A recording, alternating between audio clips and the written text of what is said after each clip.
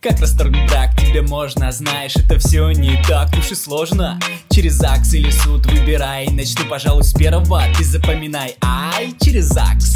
По взаимному согласию супруга. Расторгнуть так совсем не трудно. Несовершеннолетних детей общих нет Значит все в порядке, ты свободный человек. Расторгнуть брак можно. Запоминай, подруга, по заявлению одного из супругов.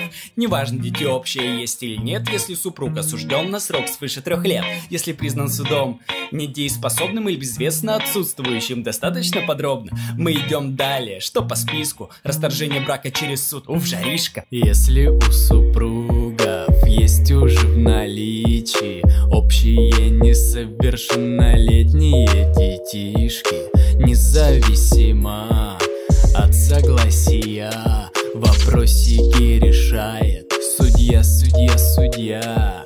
также через суд расторгнуть брак нужно. При отсутствии согласия кого-нибудь из суженных. Причина несогласия не важна Вопросы все решает судья.